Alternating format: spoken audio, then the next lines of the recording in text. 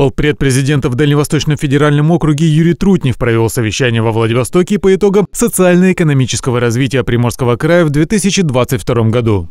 Приморье и Владивосток внесли достаточно большой вклад в э, общие показатели по Дальнему Востоку.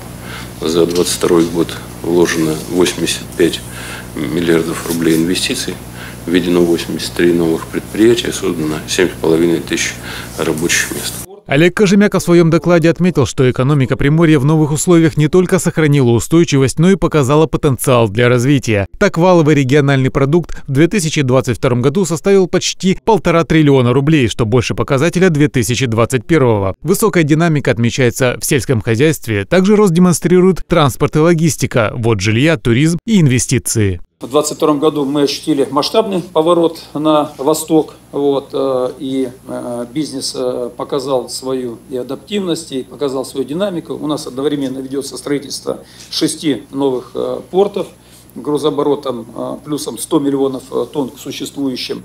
Вот. А, также в этом году начинается строительство транспортно-логистического центра на 1 миллион контейнеров, что в совокупности даст объем по перевалке, это 280 миллионов тонн грузооборота, 3 миллиона контейнеров. Серьезную поддержку при реализации социально-экономических задач Приморье получило благодаря президентской дальневосточной единой субсидии. В 2022 году в регион поступило 6 миллиардов 800 миллионов рублей. Построено 7 многоквартирных домов а, для аренды жилья ССК «Звезда», школа на 600 мест в Большом Камне, детский сад введен на 240 мест во Владивостоке.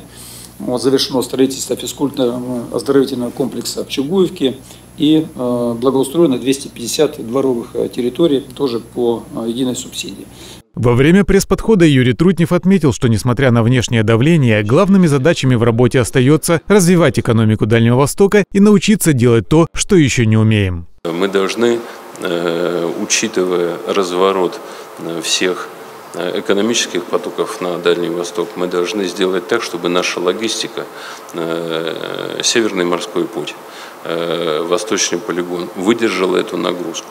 Мы занимаемся сейчас, уже заканчиваем работу над законом о северном завозе, потому что мы хотим, чтобы во все северные территории продукты, Э, товары первой необходимости, лекарства, строительные материалы прибывали вовремя и по более низкой цене. Мы хотим снизить разницу цен между Дальним Востоком и э, другой частью Российской Федерации. Артем Белов, Анна Дьякова. Новости на восьмом.